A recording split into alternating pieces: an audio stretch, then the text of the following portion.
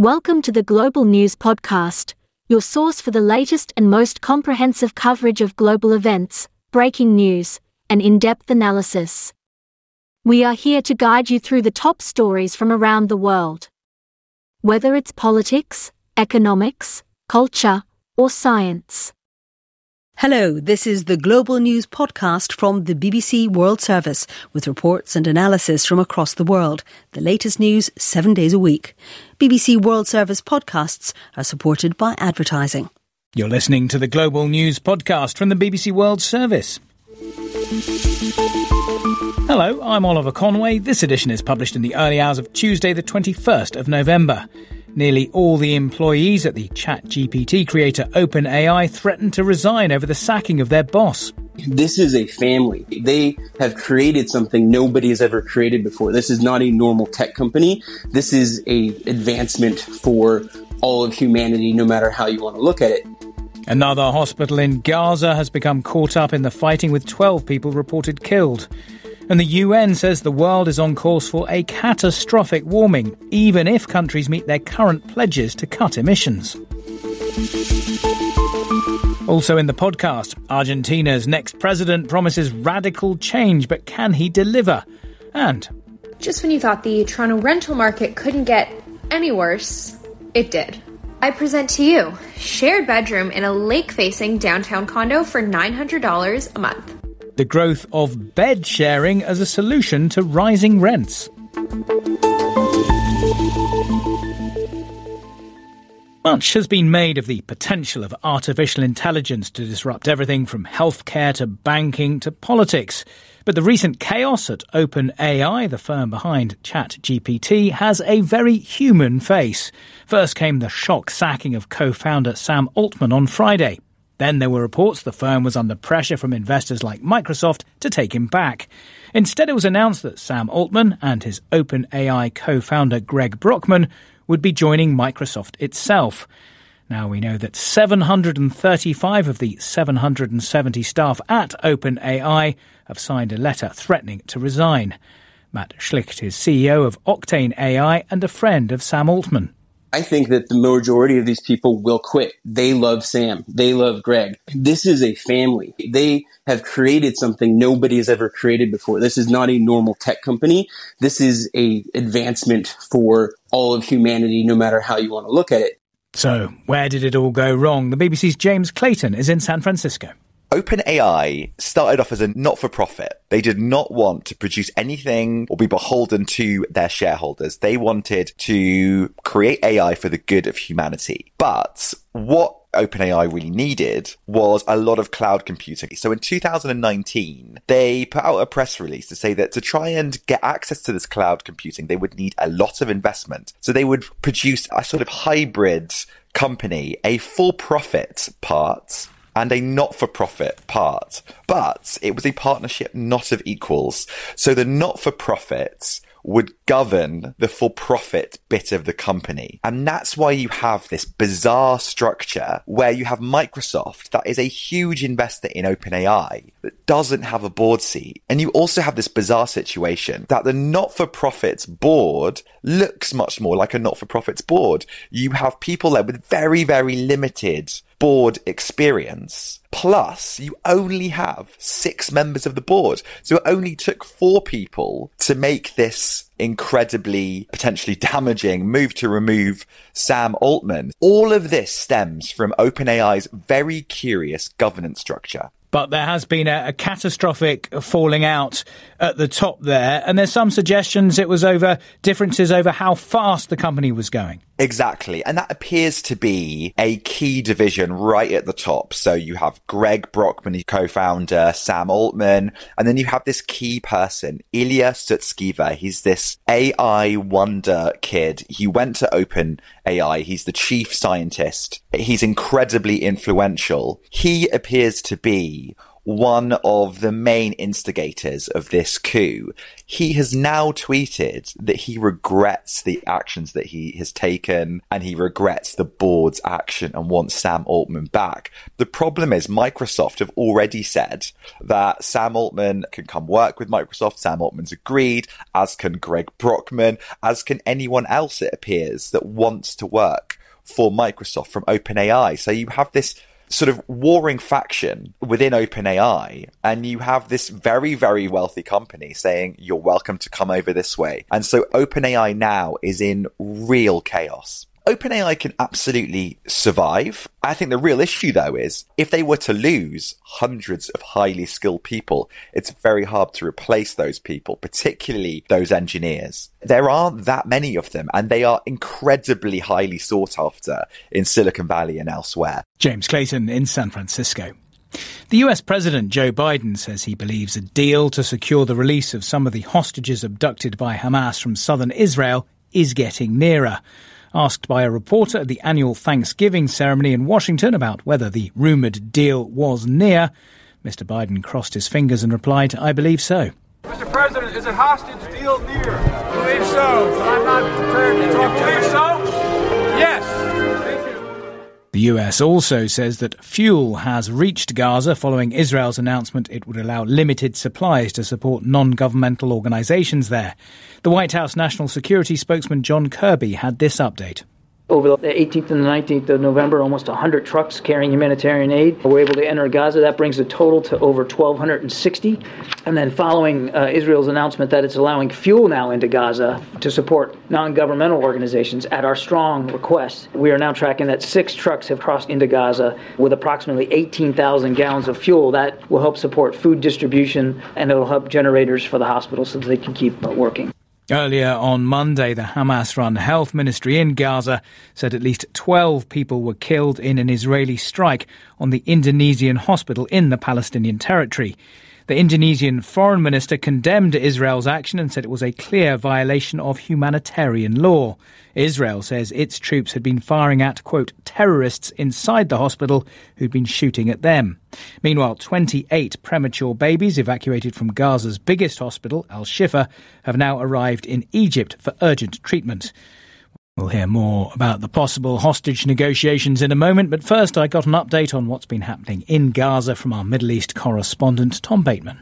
Well, what we've seen is an increasing military focus on some of Gaza's hospitals, particularly in the north. And the centerpiece of that has obviously been the Al Shifa hospital in Gaza City. Israel alleges Hamas used the hospital and a tunnel network underneath, it says, as a command and control center culminating last night in a video it released uh, that it said was a Hamas tunnel running underneath the hospital, and also clips of what it said was CCTV security camera footage from the hospital, which showed the Israelis said two hostages, foreign nationals, being taken into the hospital by Hamas when they were snatched on the day of the atrocities themselves. Now, one of those people in the footage is clearly injured on a hospital trolley inside. The other one is being sort of wrestled quite aggressively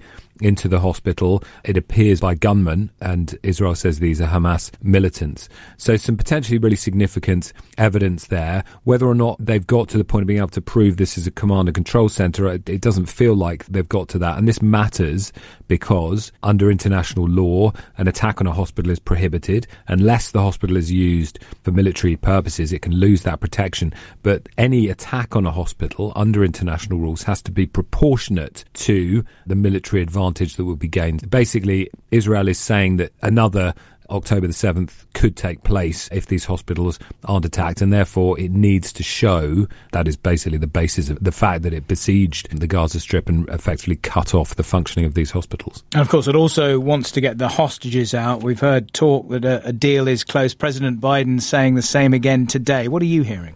For 24 hours now, there has been a growing sense that a deal is close. And I think it's really significant that we've had President Biden, in response to the question, is a hostage deal close? He has said uh, yes. John Kirby, the national security spokesperson, also saying the deal to release the hostages is getting closer. Tom Bateman in Jerusalem. The United Nations says emissions of greenhouse gases must fall by 42% by 2030 to reach the goal of limiting global warming to 1.5 degrees above pre industrial levels. It's calling on countries to show much greater ambition in a report released as countries gear up for next week's big climate summit, COP28, in Dubai. Our correspondent Nada Tawfik in New York told Tim Franks about the latest UN findings. Well, it shows that greenhouse gas emissions are reaching all time highs when really those levels should be shooting down. So we saw a 1.2% increase in greenhouse gas emissions last year, and that's really causing temperature records. I mean, June, July, August, September, October were all the hottest on record. In fact, this year is looking to be the hottest on record. And the Secretary General spoke about the fact that unless greenhouse gas emissions fall by 42% in six years, that we won't be able to get to 1.5 degree Celsius goal. And he said if you look at it, the emissions report today shows that 22 gigatons we will be higher in emissions than the 1.5 degree limit allows. And he says that is the total present annual emissions of the US, China, and the EU combined. We hear that these massive cuts have to happen, as you pointed out, by 2030. Does the UNEP give any suggestion that we are on course for that? They say there's just a 14% chance of avoiding overshooting the 1.5 degree limit in the best case scenario. So they say we have to have economies going to phase out fossil fuels much faster. And if you look at the kind of 20 biggest economies in the world right now, they aren't cutting emissions at a rate consistent with their net zero targets. And so they say we're more likely on track to warm by nearly 3 degrees Celsius this century. In terms of the damage to the world, it would be utterly catastrophic. Scientists refer to it as the point of no return, talking about runaway melting ice sheets in, the, in Antarctica, the Amazon rainforest drying out. The Secretary General, he's planning a trip into Chile, Antarctica, to try to see for himself what he thinks is the deadly impact of this crisis and what it's going to look like if leaders don't go to COP with a kind of clear understanding that they have to scale up their commitments to renewable transition. They need to help those who aren't the biggest polluters but who need financing and need help with their economies to transition. And I think that's the kind of key message from the UN that there is just a failure in leadership right now. Nada Tawfik at UN headquarters in New York talking to Tim Franks. More than 200 people have been sentenced to jail in Italy in the biggest anti mafia trial in decades. The case targeted the country's most powerful criminal syndicate, the 'Ndrangheta, which is based in the southern Italian region of Calabria, but which dominates Europe's cocaine trade. Anna Sergi is Professor of Criminology and Organised Crime at Essex University here in England. She's also the author of the book Chasing the Mafia and has been following proceedings closely. It's a massive trial, over 300 people in front of the court.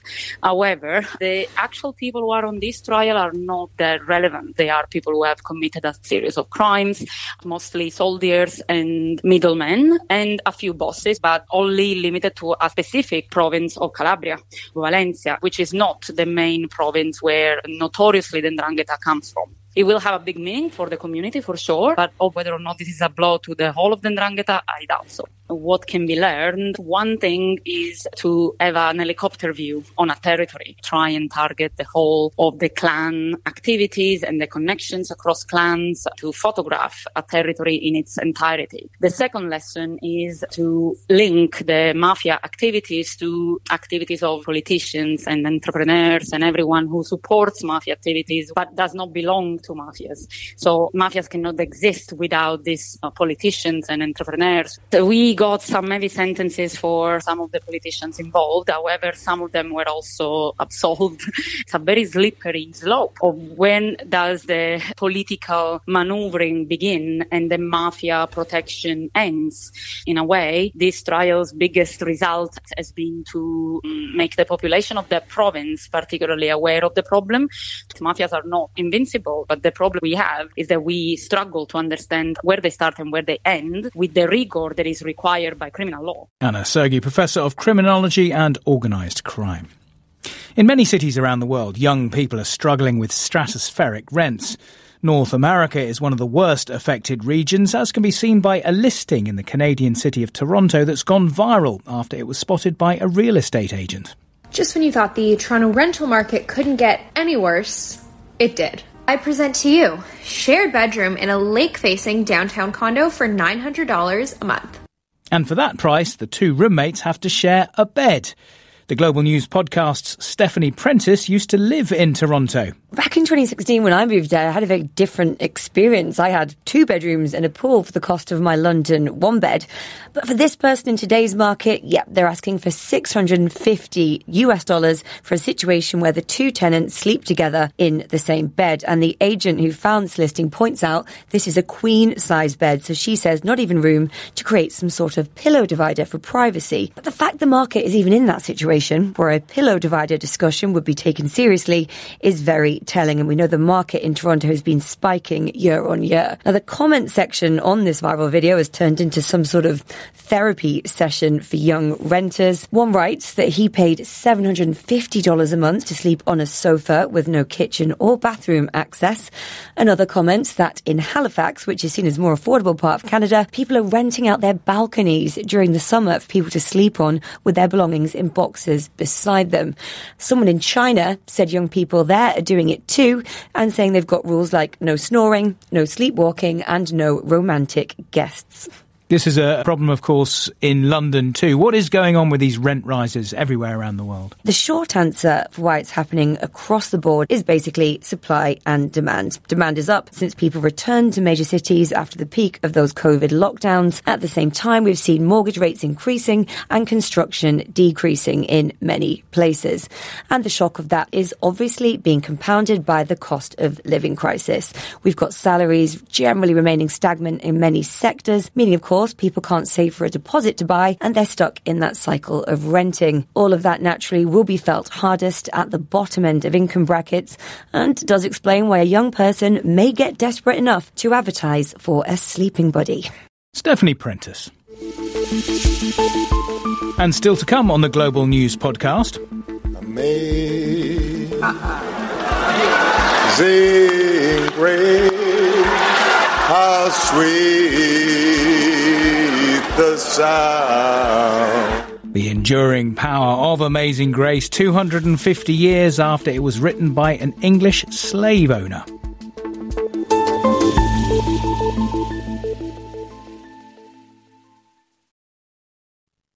Argentina's next president, Javier Milei, is unconventional to say the least, whether taking a chainsaw to a rally or pledging to burn down the central bank and scrap the nation's currency.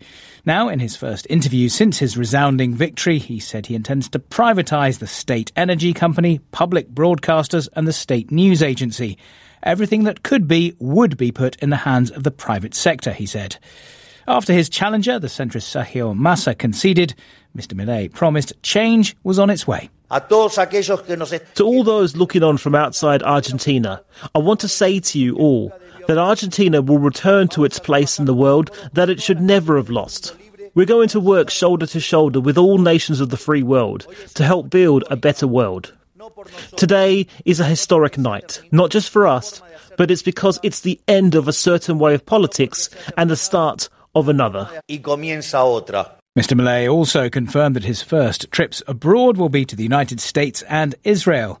Maria Esperanza Casullo is a political scientist and professor at the National University of Rio Negro. She's also the author of Why Does Populism Work?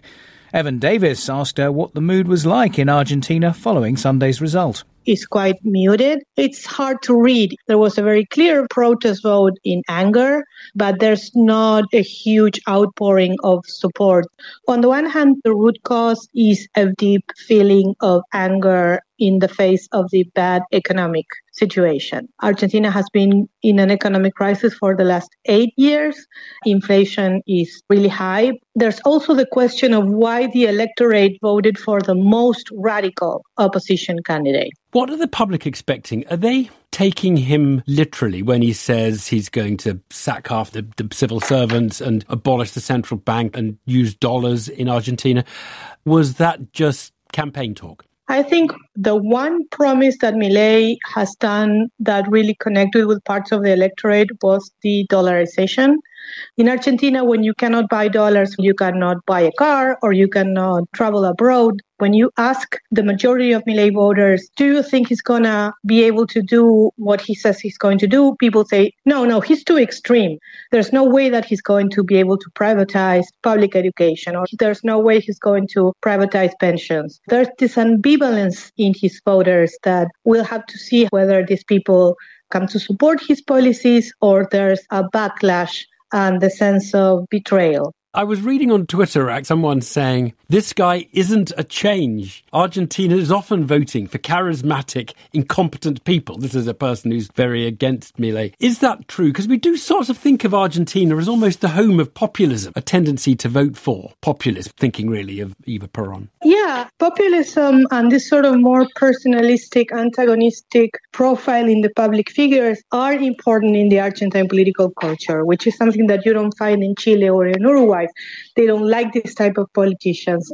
But Argentines kind of do. It's interesting because even people who are extremely anti-Peronist, like Milei voters today, or even throughout the 20th century, they continue to gripe against populism. But when they choose to vote for somebody, they choose people that have sort of the same characteristics. These larger than life, very polarizing figures. Even before Milei, you can think, for example, in Carlos Menem in the 90s, who actually implemented some of the more neoliberal policies that Milei is calling back to now. And he was also this uh, larger than life figure. Maria Esperanza Casullo talking to Evan Davis.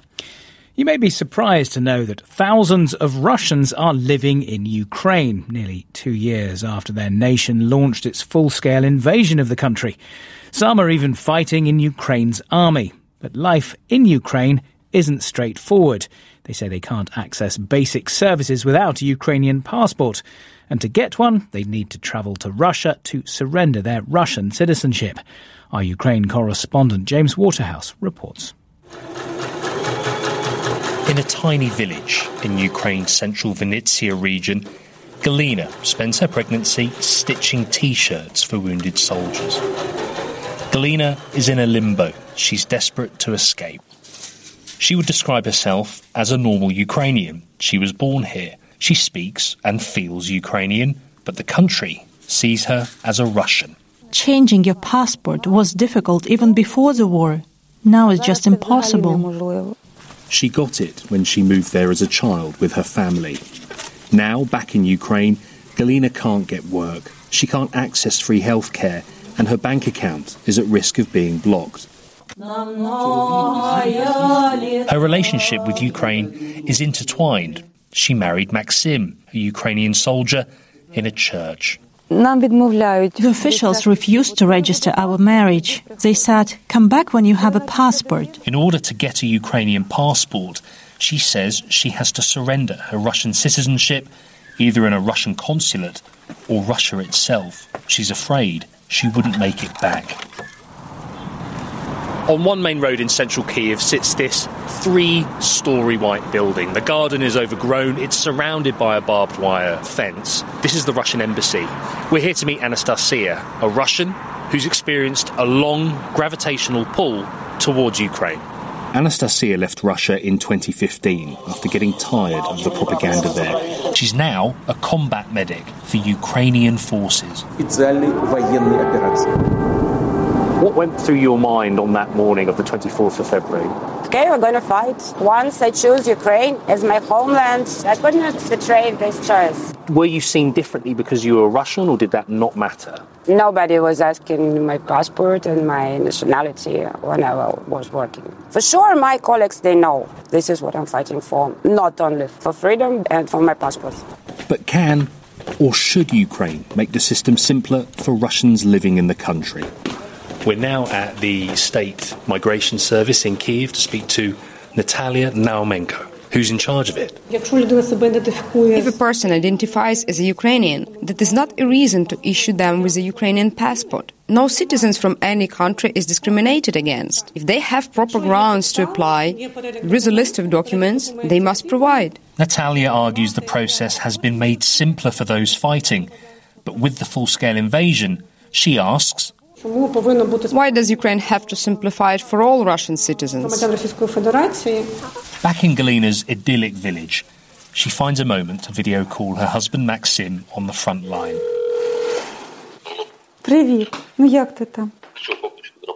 If something happened to your husband, what would that mean for your family, given your situation? I'm afraid to even think about it. If he gets wounded, I wouldn't be able to visit him in hospital. To anyone else in the world, we are strangers. It's very scary. An anxiety she tries to keep at the back of her mind, again at the forefront. That report from Ukraine by James Waterhouse. A human rights group in Cambodia says clothing waste from Adidas, Walmart, and more than a dozen other big firms is being burnt as cheap fuel in brick factories, and some workers are falling ill. Photos taken by investigators from the Cambodian League for the Promotion and Defence of Human Rights show piles of fabric, rubber, and scraps of plastic. Cambodia is an important manufacturer for many leading brands, and waste is supposed to be disposed of in approved recycling centres or waste to energy plants. Our Asia Pacific regional editor Celia Hatton told me more. Cambodia has a huge garment industry 700,000 people making, stitching, clothing, shoes, bags for big name brands. There's a lot of waste created, but it seems that some of this waste, according to the report, it's being diverted and sold off to brick factories. They took photos of what they discovered there. You could see mountains, just huge piles of what looked like scraps of fabric and rubber and plastic. But any of these things were stamped with the labels of the companies that they seem to have been made for. Lululemon, Lidl, Disney, The Gap, Reebok, Adidas. It was very clear where these things had come from. So this stuff is being burnt by these brick factories as fuel. What does that mean for the workers there? The workers at the kiln factories and people living around the factories are reporting things like migraines, respiratory problems. The report even mentioned one pregnant woman who said she'd been having problems during her pregnancy because she'd been living next to these brick factories. And so some quite disturbing things. So will anything be done to stop this kind of thing happening? What are the firms saying? I spoke to Adidas. They got back to me very, very quickly saying that they had launched their own investigation uh, to try to figure out how their factory waste ended up beside these brick factories. They didn't discount the findings of this report and they were quite clear that they have quite strict environmental policies. Other companies have seemingly ignored this report. They haven't gotten back to the authors of this report. So, so far, we haven't heard anything from The Gap or Disney, for example. Other companies, Primark, Lidl, both say they're investigating. And so uh, there's a mixture. Celia Hatton reporting. US researchers say they may have discovered why some people get a headache after just one small glass of red wine. The investigators at the University of California believe they've identified a compound in red grapes that can change how the body metabolizes alcohol. More details from our health reporter Michelle Roberts. Several theories have been put forward for red wine headaches that can strike within 30 minutes of drinking even small amounts. Some blame preservatives that prolong the shelf life of wine. Others say it could be a blood vessel expander called histamine, another ingredient that's more common in red wine than whites or rosés. Now, a US team list another possible culprit, an antioxidant called quercetin that red grapes make lots of in the sun. Expensive wines like Napa Valley Cabernet